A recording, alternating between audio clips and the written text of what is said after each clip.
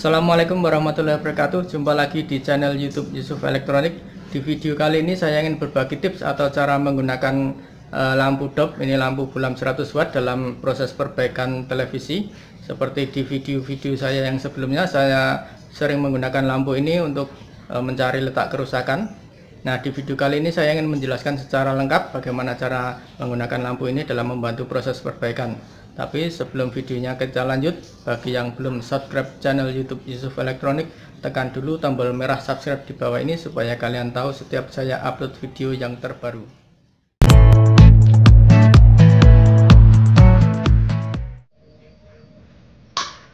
Oke, kita lanjut videonya.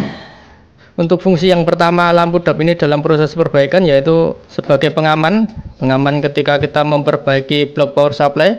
Jika teman-teman pernah memperbaiki uh, power supply ataupun regulator uh, dari TV, ketika uh, ini cek di colokan atau ketika dinyalakan pertama kali ini transistor finalnya langsung mati lagi atau kadang kalau TV-nya Polytron itu fatnya langsung jebol lagi sering banget kasus kayak gitu.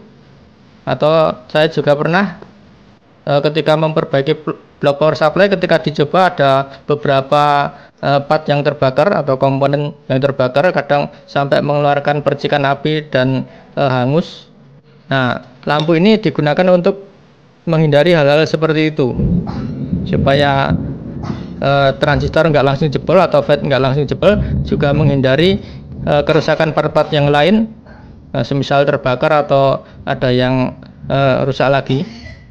Caranya yaitu uh, kita fungsikan sebagai sekring.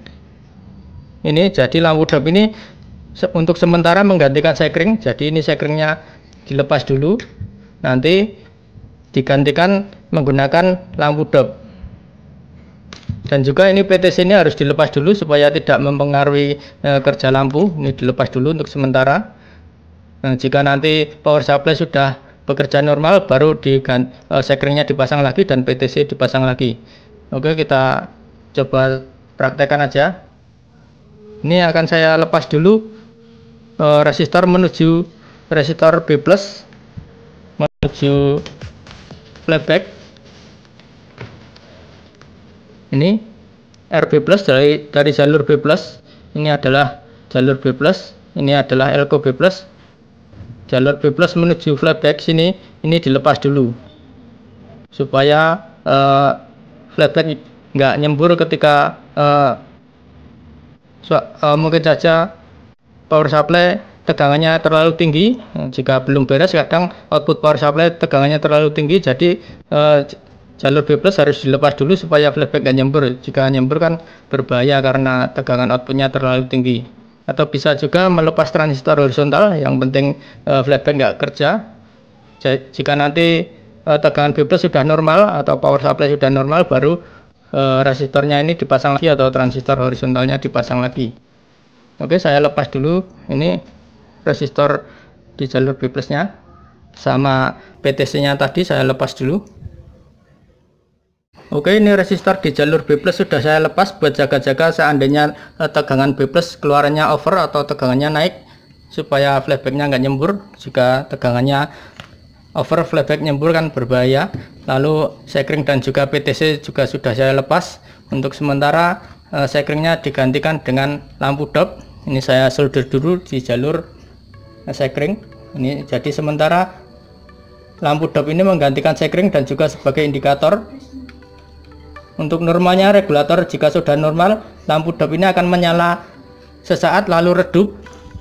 Dan jika e, lampu dop ini menyala terang terus menerus itu artinya masih ada rangkaian yang short di jalur e, maksud saya di blok regulator. Jika menyala terus atau menyala terang terus nggak nggak menjadi redup, kalian harus cari dulu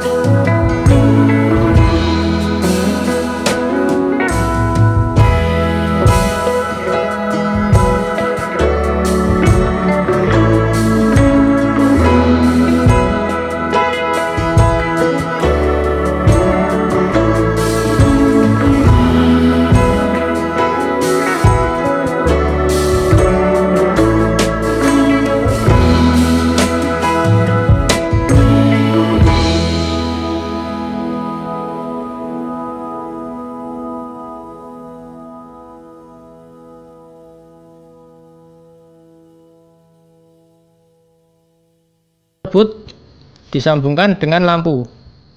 Jadi lampu ini untuk menyambungkan jalur kolektor da, uh, dengan flyback.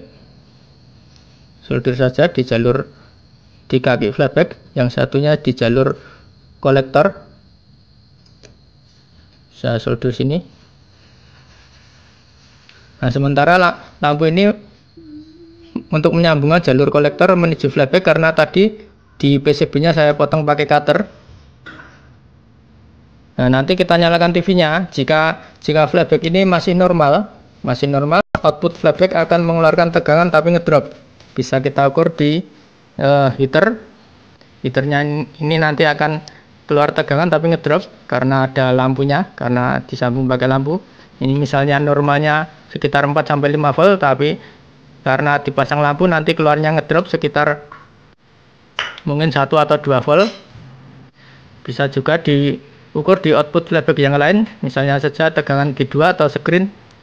Nanti juga akan eh, keluar tegangan tapi ngedrop. Jika tegangan output nggak ada output playbacknya nggak ada tegangan sama sekali bisa dipastikan uh, playbacknya rusak.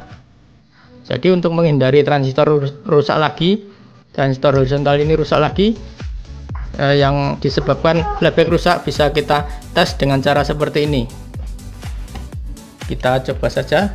Kita cek di output flashback di tegangan heater. Ada tegangannya AC lalu kita nyalakan TV nya ini adalah uh, sebagai contoh saja. Untuk penerapan cara seperti ini bisa kalian lihat di video-video saya yang lain saya sering menggunakan cara-cara ini untuk uh, dalam proses perbaikan. Kita cek di jalur heater kita cek di tegangan heater lalu saya nyalakan TV nya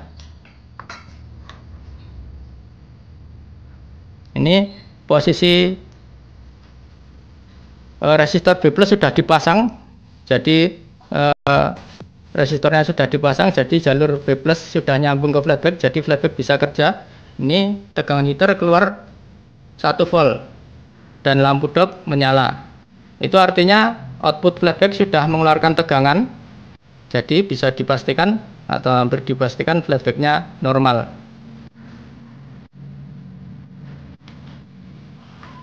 Jika output flashback nggak ada tegangan sama sekali kemungkinan besar eh, flashbacknya rusak jadi bisa merusak transistor horizontal lagi Oke, itu saja mungkin yang bisa saya bagikan tiga buah uh, tiga trik atau tiga fungsi dari lampu dop untuk dalam membantu proses perbaikan televisi. Semoga penjelasan saya bisa dipahami. Jangan lupa subscribe channel YouTube Yusuf Elektronik, like, share, komen, dan sampai jumpa di video saya yang selanjutnya.